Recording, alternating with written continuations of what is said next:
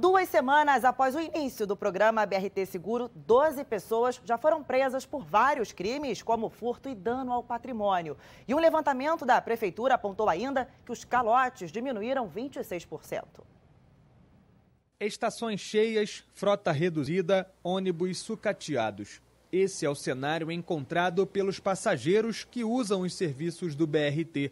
Mas se já é difícil ter um transporte assim, Imagina quando boa parte de quem usa nem paga pelo serviço, ou pior, ainda destrói o que está nas ruas.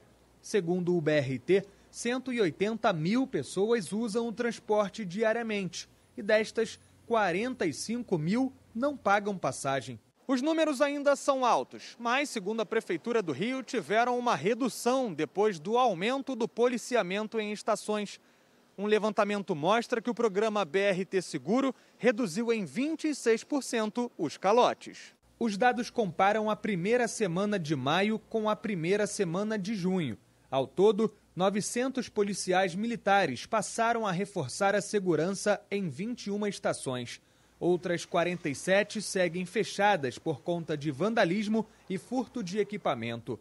Um prejuízo mensal de aproximadamente 100 mil reais. Nessas primeiras duas semanas, nós alcançamos uma média de aproximadamente uma prisão em flagrante por dia, pelos crimes de furto, receptação e dano ao patrimônio público. Duas estações pegaram fogo na primeira semana de junho. O custo estimado para recuperar cada estação incendiada é de 250 mil reais. O furto de cabos também é um problema registrado no BRT, Segundo o levantamento, só nos meses de abril e maio, aproximadamente 6 quilômetros de cabos foram levados por criminosos. Há pouco menos de três meses, a Prefeitura do Rio deu início à intervenção no sistema de BRTs. Atualmente, 175 articulados estão em operação. A meta da intervenção é colocar na rua 243 veículos até setembro.